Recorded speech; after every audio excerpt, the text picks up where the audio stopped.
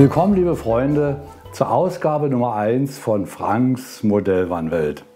Zuallererst möchte ich mal ein ganz großes Dankeschön loswerden. Und zwar an alle, die sich zu unserer Pilotsendung mit zahlreichen Kommentaren, Mails und auch per Telefon geäußert haben, um ihre Meinung, aber auch Vorschläge zu den weiteren Sendungen an den Mann zu bringen.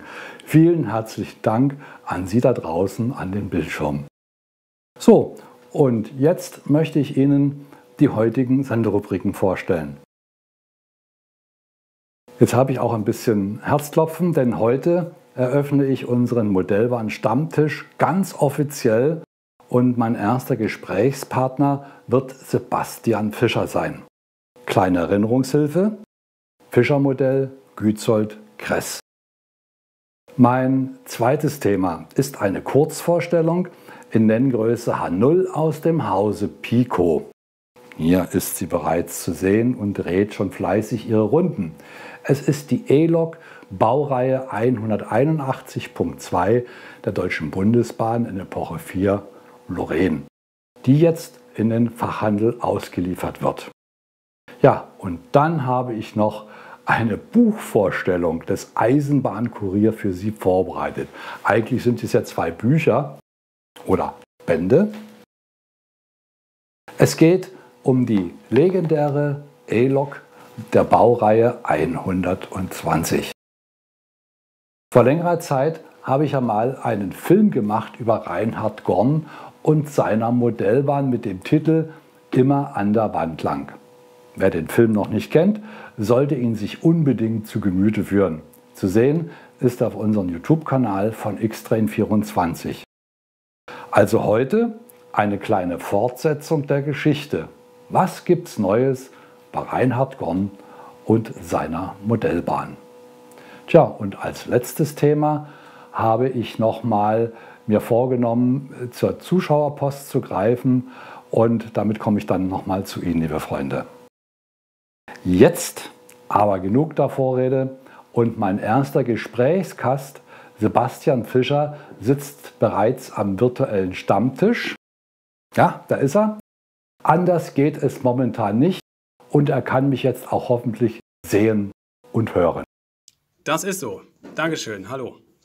Schön, dass du auch dir die Zeit genommen hast und gleich vorneweg wir feiern Premiere, denn du bist der erste Firmenchef aus der Modellbahnbranche, der an meinem virtuellen Stammtisch Platz genommen hat.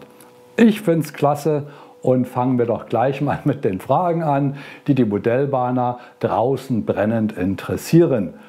Deshalb kommen wir auch am Thema Corona bei dir nicht vorbei. Das beschäftigt die Branche schon sehr. Wie ist die Situation derzeit bei euch? Ähm, durchwachsen. Also ähm, es ist einerseits so, dass wir aus verschiedensten Gründen äh, sowohl bei Gützold als auch bei Kress äh, die Nachfrage nicht bedienen können. Also es ist äh, einerseits so, dass wir, äh, wie sicherlich auch der ein oder andere schon mitbekommen hat, ähm, im, in den letzten, gerade im letzten Jahr relativ ausgebremst wurden, was, was gerade das Thema ähm, oder die Marke Gützold angeht, äh, mit, der, mit der Fertigungsumstellung, mit der, mit der Verlagerung, mit einem Umzug. Ähm, das sind natürlich auf der einen Seite Produktionseinschränkungen, mit denen wir zu kämpfen haben immer noch haben ähm, und auf der anderen Seite ähm, auch mit einer erhöhten Nachfrage ähm, ja, glücklicherweise konfrontiert sind, was in Summe aber dazu führt, dass wir ja lange nicht alle, alle Kunden glücklich machen können, ähm, so wie wir es gerne wollen würden. Das ist ja eigentlich derselbe Tenor, der sich überall durchzieht, was wir ja auch schon bei der Pilotsendung von Horst Neidhardt und Wieland Fissmann erfahren haben es ist ja für die Industrie sehr schön, dass die Nachfrage gestiegen ist und auch bedingt durch viele Neu- und Quereinsteiger, die das Hobbymodellbahn für sich entdeckt haben. Genau darauf führe ich das eigentlich auch zurück. Ähm, alle, alle sind irgendwie an das Zuhause gebunden, an das Umfeld äh, und überlegen sich jetzt oder besinnen sich wieder oder auch neu auf die Dinge, die man ja, zu Hause machen kann, auf die, auf die schönen Dinge, die man zu Hause machen kann.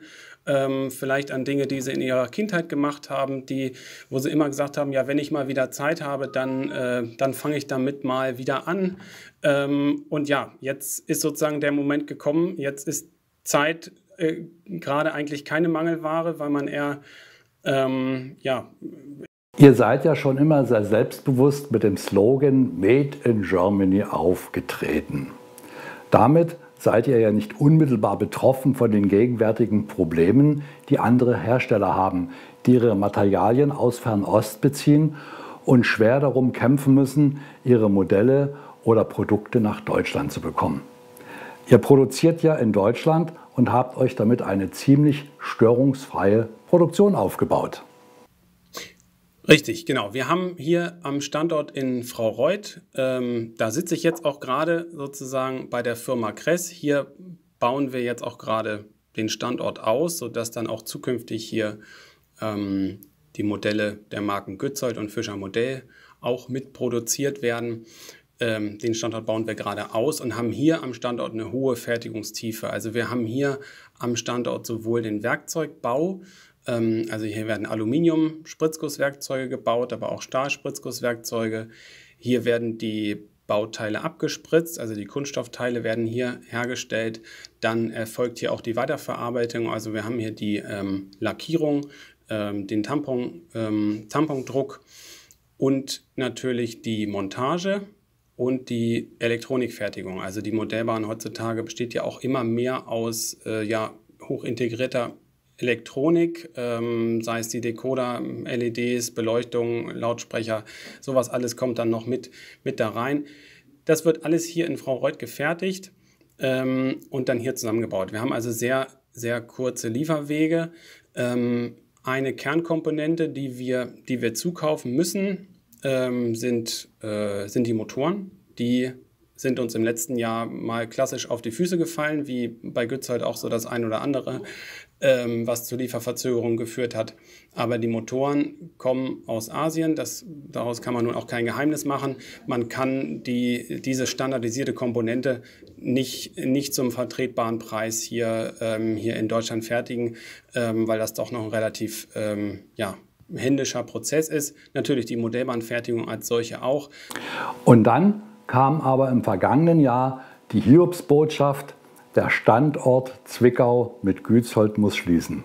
Wie geht es denn nun weiter mit Gützold? Ja, eigentlich wollten wir, ähm, wollten wir der Marke wieder, wieder unter, unter die Arme greifen, wieder frischen Wind äh, sozusagen da reinbringen und, und gleich am Anfang auch ein Zeichen setzen, ähm, dass wir langfristig denken. Also, dass wir nicht sagen, wir wollen jetzt mal schnell äh, aus der Marke irgendwie äh, das schnelle Geld rausdrücken, sondern wir wollen, ähm, wir wollen die langfristige, den Kunden klar machen, dass die langfristige Verfügbarkeit aller Ersatzteile uns eigentlich sehr am Herzen liegt. Und deswegen haben wir das gesamte Ersatzteillager äh, vernünftig inventarisiert. Das ist ein Prozess, der noch nicht abgeschlossen ist.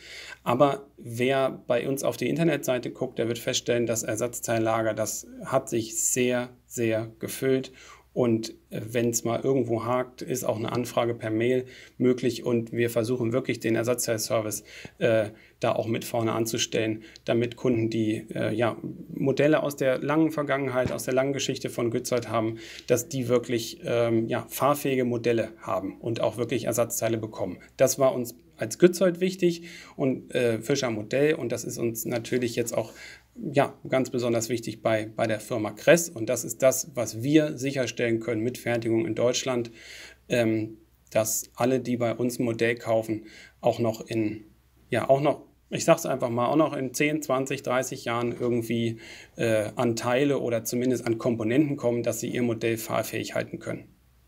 Ja, die Botschaft hören wir wohl und wird wahrscheinlich bei manchen runtergehen wie Öl, bei vielen Modellbahnern da draußen. Es ist ja in diesen unsicheren Zeiten nicht ganz selbstverständlich, denn man hört ja sehr oft, dieser Laden macht dicht, da droht irgendwo eine Insolvenz und so weiter. Es wird euch ja auch, glaube ich, niemand übel nehmen, dass es aufgrund der gravierenden Änderungen bei euch die Neuheiten für dieses Jahr auf der Strecke bleiben. Aber wichtig ist es, dass es weiterhin Modelle oder auch Ersatzteile von euch ohne Einschränkung in diesem Jahr geben wird. Das betrifft auch die längeren Lieferfristen von Modellen. Diese Botschaft ist, glaube ich, bei allen angekommen. Liebe Freunde, war mein erster Stammtisch mit Sebastian Fischer, dem Geschäftsführer von Fischer Modell, Gützold und Kress. Lieber Sebastian, wir bedanken uns ganz herzlich bei dir, dass du dir die Zeit genommen hast, zwischen Rundgang am neuen Firmensitz und Baustellenbesichtigung meine Fragen zu beantworten. Vielen Dank und alles Gute für dieses Jahr und vor allen Dingen das Wichtigste, bleibt mir alle schön gesund. Ja, ganz vielen Dank von meiner Seite.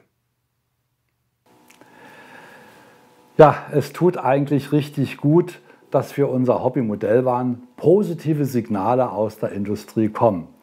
Auch wenn es hier und da ein bisschen holpert, aber im Großen und Ganzen, wie eben mit Sebastian Fischer, gibt es die gleiche Einschätzung wie von Faller und auch von Fiesmann vernommen. Und jetzt, liebe Freunde, zum zweiten Thema, zur Kurzvorstellung von der Pico-Neuheit 2021, die E-Lok Baureihe 181.2 der Deutschen Bundesbahn in Epoche 4 Lorraine, die jetzt in den Fachhandel ausgeliefert wird. Und wir stellen Ihnen das Topmodell vor mit Sound. Die Deutsche Bundesbahn Baureihe 181 ist eine Zwei-System-E-Lok, die von der Deutschen Bundesbahn ab 1966 speziell für den grenzüberschreitenden Verkehr nach Frankreich und Luxemburg beschafft wurde. Wegen ihres Einsatzgebietes wurden vier Lokomotiven auf den Namen der befahrenen Regionen getauft. 181 211 Lorraine, 181 212 Luxemburg, 181 213 Saar und 181 214 auf Mosel. Nach umfangreichen Test- und Versuchsfahrten wurden die vier Zweisystemlokomotiven 1966 in den Planbetrieb aufgenommen. Die Pico Neuheit 2021, das Modell der Elektrolokomotive der 181 211-4 Lorraine, der Deutschen Bundesbahn Epoche 4 kommt in Ausführung der nach ihrem Einsatzgebiet Lorraine getauften Lok aus der von 1974 bis 1975 an die DB ausgelieferte Baureihe 181.2 in der Farbgebung Ozeanblau Elfenbein. Die Highlight des Pico-Modells in Stichpunkten zusammengefasst. Das Lokmodell was wir heute vorstellen, ist für das Zweileiter-Gleichstromsystem DC mit Digitalschnittstelle nach NEM 658 Plux 22 und eingebautem Digitaldecoder Plux 22 nach NEM 658 sowie umfangreichen Geräuschfunktionen. Angetrieben wird das Modell mit einem fünfpoligen Motor mit zwei Sprungmassen. Der Antrieb erfolgt auf alle vier Achsen. Zwei Haftreifen und der schwere Zinkdruckgussrahmen sorgen für ausreichend Zugkräfte. Der Lichtwechsel weiß-rot mit LED-Beleuchtung erfolgt fahrtrichtungsabhängig. Zusätzlich mit Plux 22 Decoder digital schaltbare Führerstands- und Maschinenraumbeleuchtung sowie fahrtrichtungsabhängig funktionierende Schlusslichter die Kupplungsaufnahme nach NEM 362 und Kurzkupplungskulisse. Länge über Puffer 206 mm, Mindestradius 358 mm. Feinste Lackierung und Bedruckung, erhabene Namensschilder auf den Seiten, extra angesetzte Frontgriffe und Türgriffstangen, scharf gravierte Drehgestellblenden, feine Isolatoren und Stromabnehmer mit unterschiedlichen Schleifstücken sorgen für einen ausgezeichneten Gesamteindruck. Angeboten wird diese Lok in AC und DC in folgender Ausführung. Mit der Artikelnummer 51352 DC analog, mit der Artikelnummer 51353 Ausführung in DC digital und Sound und mit der Artikelnummer 51354 in der Ausführung AC Digital und Sound. Das war unsere Kurzvorstellung der A-Lok Baureihe 181.2 der Deutschen Bundesbahn Epoche 4 Lorraine aus dem Hause Pico. Diese Lok ist natürlich auch bei Xtrain 24 vorrätig und sofort erhältlich. So, Jetzt entführe ich Sie in die Welt der Literatur. Besser gesagt, Eisenbahnliteratur. Auch das ist ein wichtiger Bestandteil unseres Hobbys, damit wir auch geschichtlich fit sind über die Modelle, die über unsere Anlage fahren. Ich habe deshalb für unsere Buchvorstellung zwei Bände mitgebracht aus dem Eisenbahn-Kurierverlag mit den Titeln Die Baureihe 120. Autor der Bücher ist Karl Gerhard Bau. KGB, ja, wie er in der Eisenbahnszene genannt wurde, veröffentlichte zahlreiche Bücher zu interessanten Lokomotiv- und Triebwagenbaureihen. Die im gleichen Verlag erschienenen Bücher aus der Reihe Moderne Baureihen deshalb auch sehr große Beachtung fanden. Durch gute persönliche Kontakt zur Bahnindustrie und der sich daraus ergebenden Zusammenarbeit gelang es ihm, für seine anspruchsvollen Werke wichtige Informationen zu bekommen. Denn seine Bücher genießen einen hervorragenden Ruf und gerade auch bei der Schienenfahrzeugindustrie. So, und jetzt von mir eine kurze Inhaltsangabe der Bände 1 und 2. Im Jahre 1971 machten die Firmen Braun, Bovary und Key, BBC, in Mannheim und Henschel in Kassel mit drei dieselelektrischen Lokomotiven vom Typ DE 2500 erste Erfahrungen mit der Drehstromantriebstechnik für Schienenfahrzeuge. Diese Entwicklung verlief so erfolgreich, dass diese 1976 zur Bestellung und zum Bau von fünf Vorserienloks der neuen Baureihe 120 führte, die dank der Drehstromtechnik in der Lage sein sollten, als Universaltriebfahrzeuge jeden Zug im Personenfernverkehr, im Nahverkehr, aber auch im Güterverkehr zu befördern. 1979 wurden die ersten Lokomotiven der Vorserie ausgeliefert. Die Drehstromantriebstechnik gehört heute zur Standardausrüstung aller elektrischen Schienenfahrzeuge und stellt eine der größten Innovationen der Eisenbahntechnik dar. So, dem Band 1. Hier werden Ihnen die Grundlagen der Drehstromtechnik, die Entwicklung, der Bau, die Erprobung sowie die Umbauten der fünf Vorserienlokomotiven bis hin zur Serienreife ausführlich beschrieben. Und im Band 2 geht es weiter mit der Weiterentwicklung der Baureihe 120 zu den Serienloks ihre Unterschiede zu den Vorserienloks, ihren Bau sowie ihre Einsatzgeschichte. Beide Bücher sind mit zahlreichen, bisher nicht zugänglichen Abbildungen aus den Archiven der Industrie sowie von den damals am Bau an den zahlreichen Probefahrt beteiligten Mitarbeitern illustriert. Der Autor der beiden Bücher, Karl Gerhard Bau, hat bereits mehrere erfolgreiche Bücher über moderne Eisenbahntechnik geschrieben, die auch in der Fachwelt größte Anerkennung fanden. Und nun ist es ihm gelungen, nahezu alle heute noch lebenden Mitarbeiter der deutschen Bahnindustrie und der Deutschen Bahn, die damals am Projekt Baureihe 120 beteiligt waren, zur Mitarbeit an diesen Büchern zu gewinnen.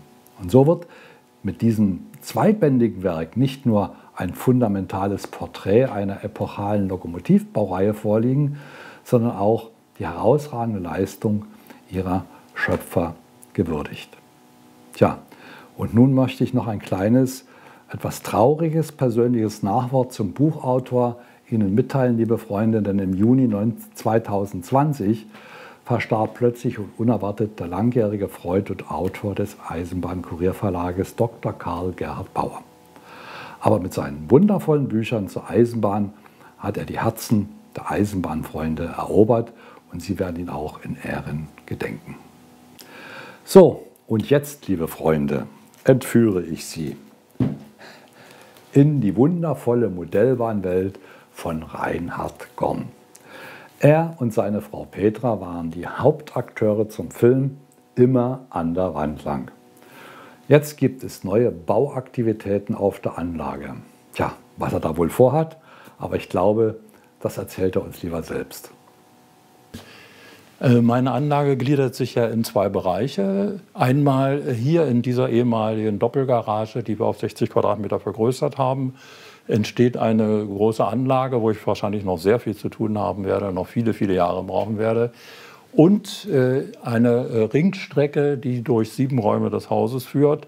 Die Ringstrecke ist mehr oder weniger fertig. Man kann hier und da vielleicht die Details noch ein bisschen verbessern. Im Moment bin ich hier beschäftigt in, in dem großen 60 Quadratmeter Raum, wo zum Teil schon etwas entstanden ist. Es gibt kleine Teilbereiche, die schon ganz ordentlich aussehen und aber noch Bereiche, wo ich also erst angefangen habe. Im Moment bin ich damit beschäftigt, eine sogenannte Altstadt zu bauen, die ich außerhalb der Anlage auf äh, einem Grundbrett äh, fertigstellen werde und dann kommt sie erst in die Anlage rein. Das wird hier die Kneipe. Ne? Ähm, und wie das bei mir so oft ist, also ich kaufe gerne auch auf Flohmärkten, da gibt es auch Sachen zu, äh, nicht nur, dass man Geld spart, auch Sachen zu kaufen, die gar nicht mehr angeboten werden. Das war für ganz wenig Geld ein Plastikbausatz, habe ich ein bisschen verändert. Ich habe zum Beispiel aus Gips gegossene Schornsteine da drauf gesetzt. Der Anbau hier hinten, ne, den habe ich selbst aus Gips gebaut. Auch das Dach ähm, ist ein Beispiel zum Beispiel hier für, für, für Dächer. Ähm, äh, ich mag ja diese glänzenden Plastikdächer nicht so gerne. Äh, und wenn das wie Dachpappe aussehen soll, ist eigentlich das Einfachste und Billigste, dass man sich aus dem Baumarkt äh, Sandpapier kauft. Ne? Möglichst feines. Das kostet wirklich nur ein paar Cent. Sieht tausendmal echter aus als ein glänzendes Plastikdach. Ne?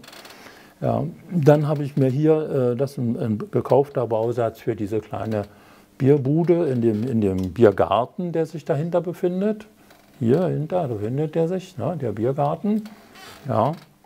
Und äh, dazu habe ich mir auch eine Beleuchtung gebaut hier. Ja, kleine Lampen. Es gibt irgendwie gar nichts Richtiges zu kaufen in dieser Art, was mir hier gefällt. Das ist alles, äh, das sind kleine LEDs, die ich mir gekauft habe hier. Die kosten ja bloß ein paar Cent. Und das ist also am Grunde genommen selber gebaut. Das muss natürlich noch angepinselt werden. Und erstmal muss ja dieser äh, Biergarten noch gestaltet werden. Hier kommen noch Tische hin und Bänke und so weiter. Natürlich äh, Leute, die sich da dem Biergenuss hingeben und natürlich ein bisschen Vegetation und so weiter. Das wird noch gestaltet. Vielleicht kann man das vor Weihnachten schon zeigen. Ich sage jetzt keine Jahreszahl. Ne? Aber ich, ich, bin am Arbeiten. Ne? Und äh, man muss natürlich zwischendurch auch ein Bier trinken, um zu wissen, wie ein Biergarten gestaltet werden muss.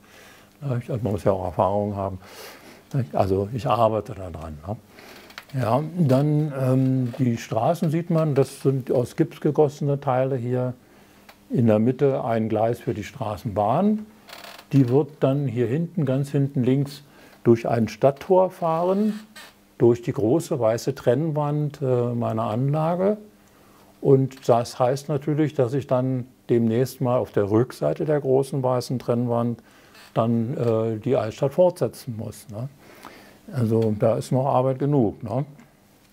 Laternen sind auch schon vorbereitet hier. Die müssten dann hier irgendwo eingesetzt werden, natürlich noch. Ne?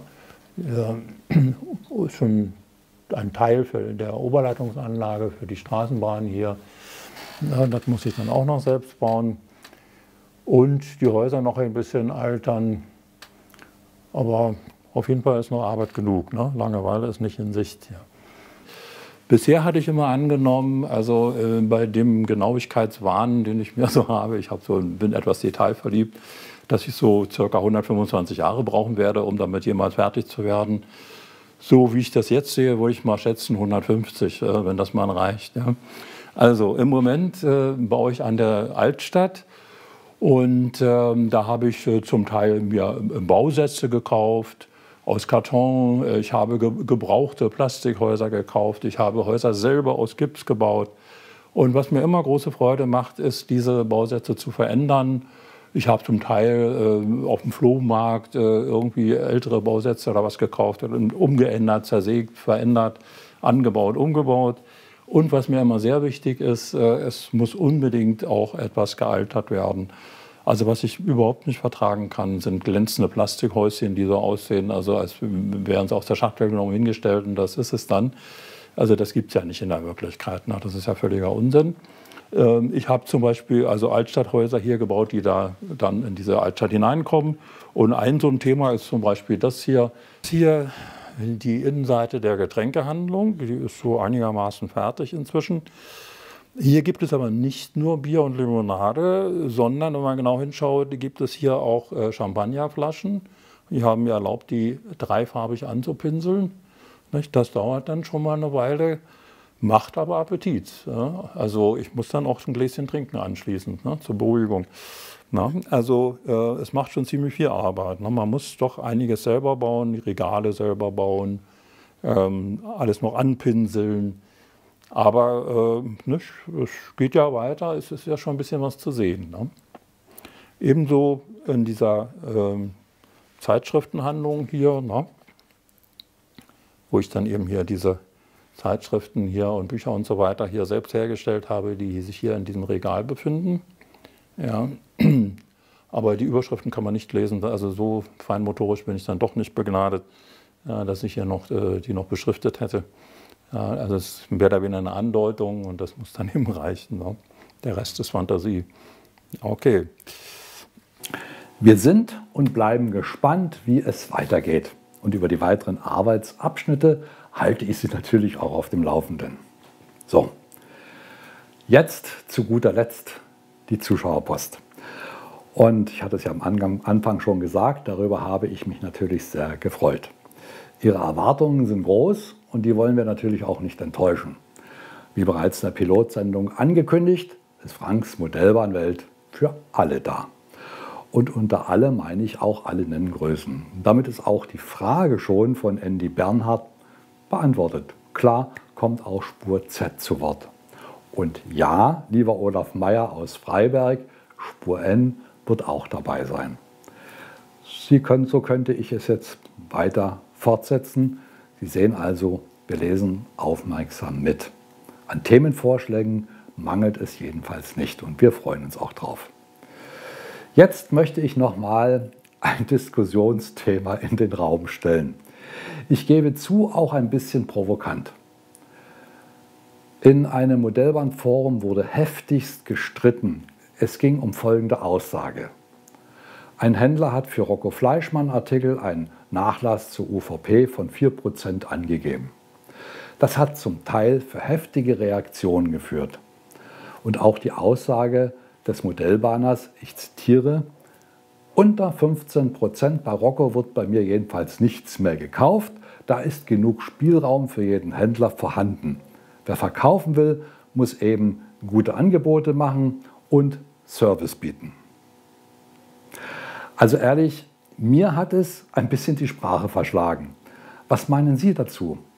Ich möchte mit Ihnen gerne darüber reden. In der nächsten Sendung Ende März.